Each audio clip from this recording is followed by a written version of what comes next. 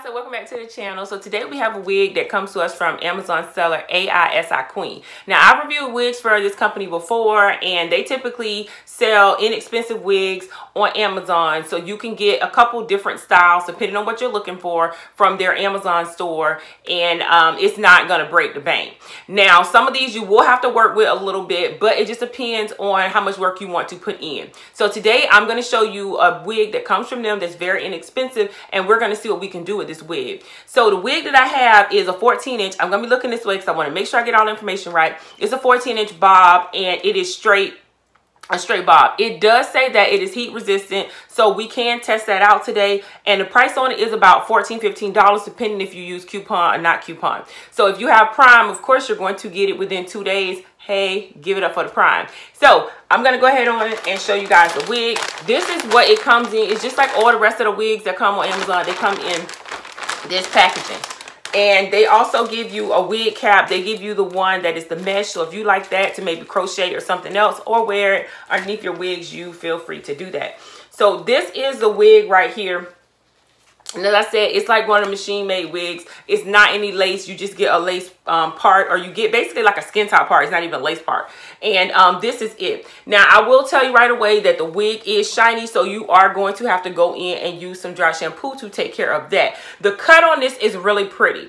So I think wigs like this I always say they're for an occasion. They're not for you to wear every day. They're for you maybe to stock up your collection with and just put a couple different things in it. And like I said before, balling on a budget and not breaking the bank. So I'm going to go into wig construction. The good thing I like about these wigs is they do come with good comb and the combs are put in a good place if you like the combs. So this here, um, the combs are right on the side of the parting area. And that's a good thing because with you having this skin top here, you're going to have to work with that. So you get two combs, the big combs, and they're literally right there. So you get the skin top in the middle and parting area isn't bad. We may can pluck it. We may can go in and do something to it. I'll see. You do get adjustable straps in the back of the wig. Okay.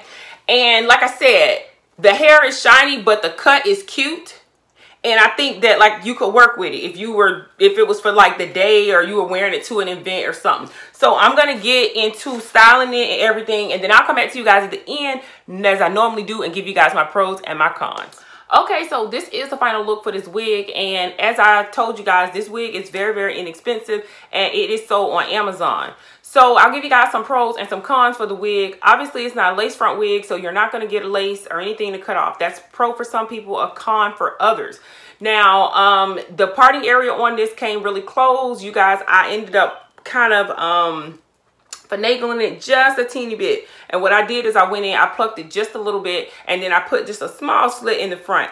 Um, it does, it's one of the machine wigs, like I said, so it's very thick right there. So I did my best to, like I said, clean the parting area up a little bit and then slick it down to make it more flat.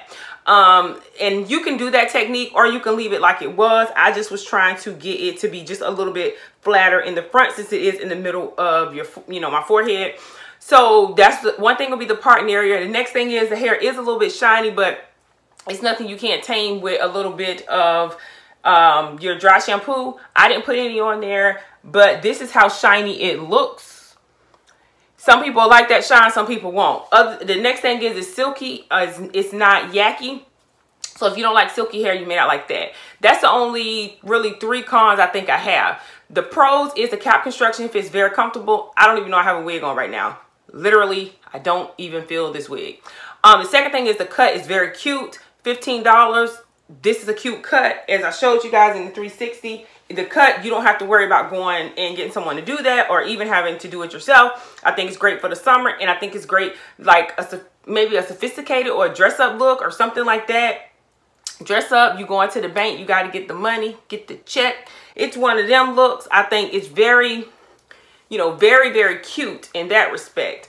Um, and that's pretty much it. I, like I said, it's a very simple wig, $15. Get it on Amazon. It says it's heat safe.